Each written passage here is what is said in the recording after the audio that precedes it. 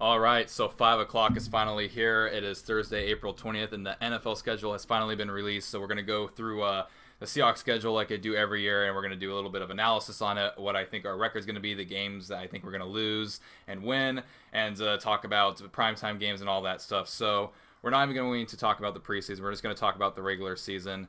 And uh, boy, it's a good one. Now, um, I'm really excited for this year. I, I, think this is really great, and I cannot wait for the draft because I really do think the Seahawks are going to make a really cool and a really great push this year.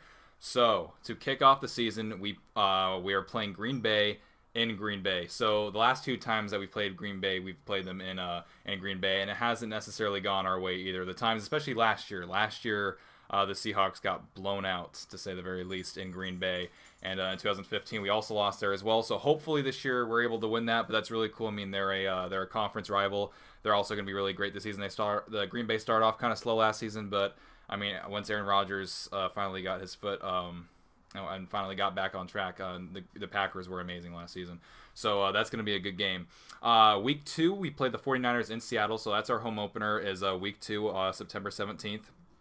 And listen, so, you know, San Francisco got a new head coach uh, and everything. Uh, I really hope that San Francisco can really start rebuilding their team fast because I really want the Seahawks and 49ers rivalry back. I mean, whenever we play the Rams and whenever we play the Cardinals, it's just not the same.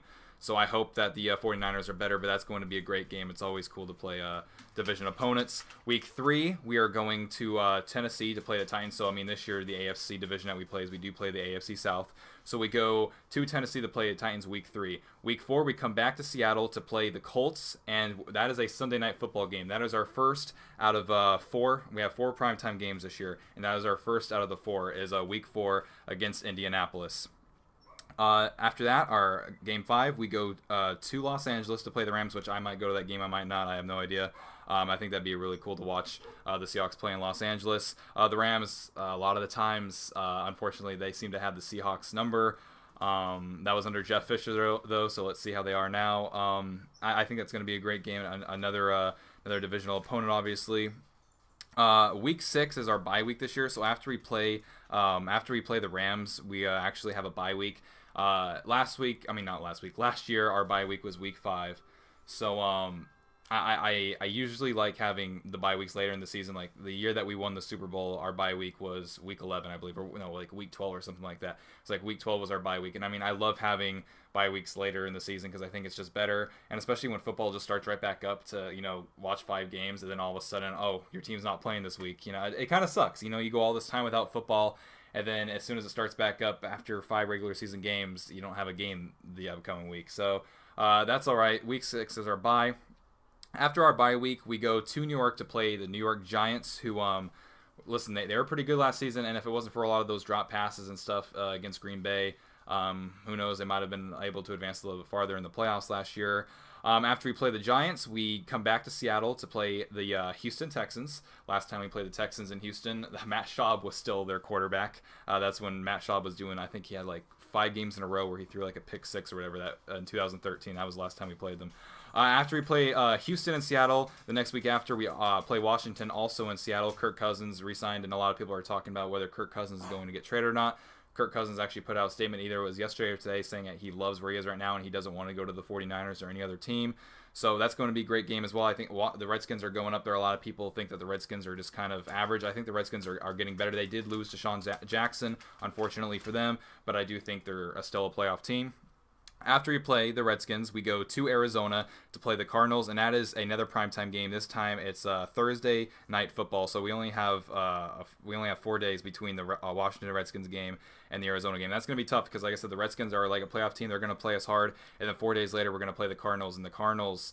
Uh, much like the Rams the last few years, uh, play us tough every time as well. I mean, we, we tied with them this past season and then we lost them, so we didn't even beat them at all this last season. Um, and then after we play the Cardinals in Arizona, we come back to Seattle to face the Atlanta Falcons, who we, we obviously lost to in the playoffs last year. And uh, that is a Monday night football game. So that's two primetime games in a row. Um, that but we have there's like an 11 day off session obviously because you have the Thursday night football and then there's 11 days between that Thursday night football and then when we play the Falcons on Monday night football. That's going to be a great game. I mean the Falcons I expect the Falcons to be really good this year. I don't think they're gonna I don't think they're gonna pull a Carolina and go to the Super Bowl and then just fall off a cliff. I don't think that's gonna happen. I think the Falcons are gonna be really motivated uh, this upcoming season and they're a team to watch out for. Um, after we play the Falcons, we go to San Francisco to play the uh, 49ers for our last time, the, for our second meeting with them. And then after we do that, we come back to Seattle to face the Philadelphia Eagles. And uh, that is our last primetime game. That is a Sunday night football game, and that is uh, in Seattle. So that's really cool. So let me just make sure I have this right. So out of three out of four of our primetime games are in Seattle. So that's really cool. Uh, we have that Sunday night. We have two Sunday night footballs, a Monday night football, and a Thursday night football. After we play the Eagles in Seattle, we go to Jacksonville to play the Jaguars, who I know I said this last season, and I feel like a lot of people have been saying this for a few years with the Jaguars. Everybody's been expecting them to make that next big step. When Tom Coughlin as the uh, next president now and Doug Marrone as the head coach, I really do think that uh, the Jaguars will be improved this season. I'm not saying that they're going to make be a playoff team necessarily, but I think Blake Bortles had a really good second year in the league, and he fell off last year in his third year. But I think I think Blake Bortles will be back. I think the interceptions will be down, hopefully, and I think the Jaguars will be able to take the next step. Uh, after we play uh, the Jaguars, we come back to Seattle to play the uh, the Rams with our, our second meeting against the Rams. And then we go to Dallas, which, is going to be a good game. I kind of wish this was a primetime game. We're going to go to Dallas week 16 to play uh, the Cowboys. And um, as long as, I mean, I don't think Dak Prescott or Ezekiel Elliott are going to have a sophomore slump at all. I think uh, actually without Tony Romo being there, I think Dak Prescott's really going to be able to focus in and not have to worry about a quarterback looking over his shoulder. Uh, and then to end the season, we end the season at home uh, against the Arizona Cardinals. Uh, December 31st. So this, uh, last year the season didn't end until uh, January. This year it ends right before January, December 31st. So let's talk about so, some of this. So as I mentioned, we have four primetime games, um, and I'm so excited for the season. Hold on, I have to unlock my phone here real quick. Okay. So out of the, you know, I, I, like I said, the four primetime games, two of them Sunday night football, one Monday night football, and uh, one Thursday night football. Now, here's the thing. Uh, week one against Green Bay, going to be a great game. I can see us losing that game. I can also see us winning that game. I can see us being really really motivated after losing. I think this, I think it was like 38 to 10. I think was the final score this past season when we lost to the Packers. It was crazy. I can see us being motivated. I can see Green Bay taking that game too. Uh, our home opener against San Francisco, I, I personally see us winning that game. Uh, going to Tennessee, Tennessee was a surprise team last year. A lot of people, you know, and they were all, all kind of head coach to be fired.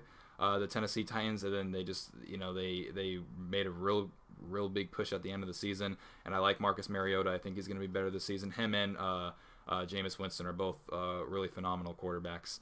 Uh, that's also going to be a tough game. I can see us winning it though.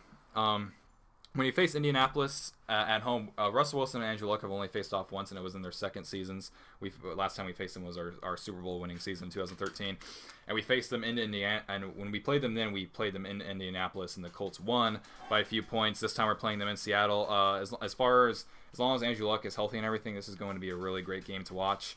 Uh, and then when we play the Rams, the Giants, so all this stuff. If I had to like look at all the schedule here and, and pick the games that were. I, I think I think we'll split with Arizona. I think Arizona's going to win one, and I think we'll win one with Arizona. And if I had a guess, I'm going to say that Arizona probably wins the one at their stadium, and we win the last game of the season at our stadium. But who knows? I mean, because I think Arizona's going to ba- bounce back this season. The very last game this year against Arizona, I mean, that could be for the division. So I mean, even though it's in Seattle, I mean, depending on what the teams are playing for, whether it's a playoff spot or whether it's just the division in general, uh, it's it's going to be a great game. Dallas is going.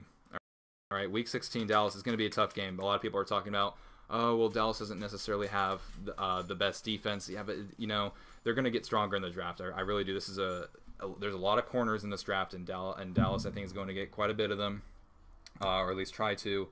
Um, and also, I don't even buy that whole thing about the defense is not that good because the Seahawks have faced quite a bit of teams last rate, and the Seahawks still weren't really able to move the ball in offense, which is one thing I hope changes this year. Uh, if our offensive line can protect Russell Wilson, uh, give him a little bit more time to throw, our running game gets back to the way it used to be when we had Marshawn Lynch, or at least near the same level, I think we'll be good as far as offensively goes. Um, and the Atlanta game, even though we're playing in Seattle, uh, that, that's a tough game too. If I had to give us, um, if I had to just say what games we're going to lose, I I see us um, yeah, I actually see us starting off 2 0. I see us being Green Bay. Uh, this might surprise some people. I, I actually see us losing against Tennessee week three. Uh, I, I see it going two. I see us starting off at two and zero, oh, and then uh, losing our first game week three in Tennessee. I can see us being uh, the Indianapolis Colts. The Giants is going to be another tough one. I can see us losing that one. Uh, let me just look here for another few seconds here just to see. Washington's going to be tough. Houston, I mean, Houston, dude, Houston's defense is absolutely amazing. I mean, Houston's a quarterback away from being a Super Bowl team. They really are. Um, it's really too bad that Tony Romo didn't go to them. I was really pulling for Tony Romo to go for the Texans and not retire because I think that would have just like sealed the deal for the Texans. I mean, that's as long as Romo could have stayed healthy at least. Um, man, uh, record because I I just I have. I'm so optimistic about this season. I just want to say, oh, we're gonna go 14 and two. Oh, we're gonna go 13 and three. I just um, there's just a lot of great teams this season, and uh, wow, um, Atlanta, Philadelphia. I mean, Philadelphia is gonna be better too. I, I really like Carson Wentz. Um, and Jared Goff, a lot of people are like talking crap about Jared Goff of the Rams. He didn't. I mean, I, he didn't play the best out of. I think he only played like or started five games last season. Even though he didn't play the best, people are already calling him a bust. I'm sorry, you can't label someone a bust after five games. You can't. Right? He was five games into like his career. You can't label him a bust. Uh, there's a lot of football left for that young man to play. Um, okay. I see us losing. Mm. I can almost Hmm. I'm actually going to change from what I said we are going to start 2 0. I actually I think I'm I see us losing week 1 at Green Bay. I, I just do. I think it's going to be a close game. Hopefully, hopefully it's not a blowout like the last time. I, I think it's going to be a close game. Um, I, I, see us winning against San Francisco. I see us winning against Tennessee. I see us barely getting past the Colts. I can see us winning against the Rams in LA. I see us losing to the Giants. So at that at that point, uh, we would be four and two. I can see us winning against. I can see us winning against Houston. We're playing at home. If we were if we were playing in Houston, I, I would probably ha- say we lose that game. I can see us winning against Washington. I think we're going to lose against Arizona. Uh, so that's three losses right there. I think we beat Atlanta on Monday Night Football in Seattle. I think we do sweep the Niners this year, so I think we beat the Niners again there. I think we could beat the Eagles at Sunday Night Football at our stadium. I think we beat the Jaguars. The ah, man. And then and I can, and I can see us losing at Dallas and Dallas, and I can honestly I can also see us losing against Tennessee. I know I said that. I know I just said that when I recorrected myself. I see us winning against Tennessee. I can easily see a 12 and 4 or an 11 and 5 record, and I, and a lot of that goes to I think I can see I can see us winning against Tennessee, and I can also see us losing against Tennessee. I think Dallas is going to be a tough game. Where it's Christmas Eve in Dallas, it's going to be tough, and depending on you know how good Dallas is next season, how good we are, that can also be for uh, a number one or a number two seed spot right there on Week 16. Um, I'm gonna say 11 and five, and uh, just to say where I have our losses coming from here: uh, Green Bay, Tennessee, the Giants, and uh, Dallas and Arizona and Arizona. But like I said, I. I, I um I can easily see a 12 and 4 because I can see us winning against Tennessee. I can even see us winning in Green Bay against Green Bay, but I just think I think the Packers are just going to take that game. We're just we don't have the best of luck when we're playing in Green Bay. I mean, whenever the Packers come to Seattle, it's it's fun.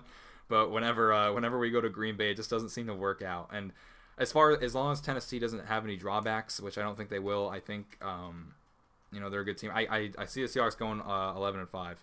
Um, and just let me just make sure here.